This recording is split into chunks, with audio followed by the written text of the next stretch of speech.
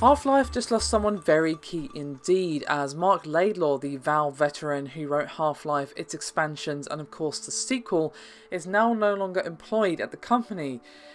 Laidlaw has said that he had left Valve after a staggering 18 years at the company.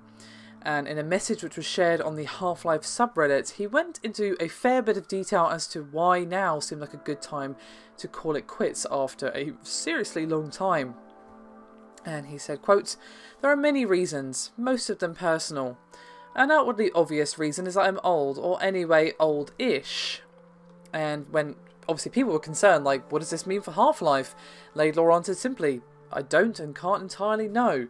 And he continued, quote, Half-Life is fully owned by Valve. It came into existence before my arrival. Where Valve may choose to take it in the future is not in my hands. Now, history and gaming history buffs will probably know that Laidlaw only began at Valve during the development of Half-Life, uh, but his writing career stretches way back before that. Before entering into gaming, he was primarily in the realms of sci-fi and horror fiction. One of his novels, which um, came out in 1988, Neon Lotus, was nominated for the prestigious Philip K. Dick Award, and apparently one of the key reasons for his retirement was basically the desire to get back into his novelist beginnings.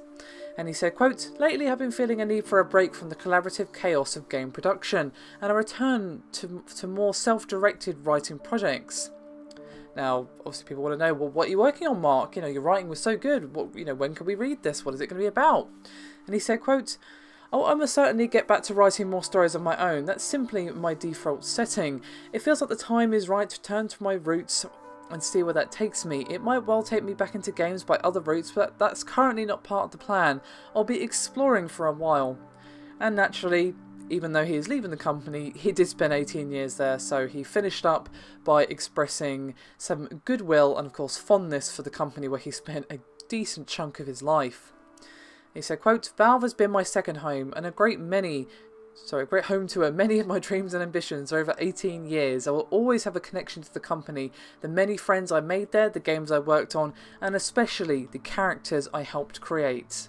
So what can we say but a fond farewell to Marc Laidlaw and I wish him all the best and hopefully he can let us know when his next new novel or whatever it ha uh, happens to be actually comes out. I'm sure we'd all love to enjoy more of his writing, one of the many, many elements that made Half-Life, Half-Life 2, and of course the expansions and all that good stuff so memorable even after all these years.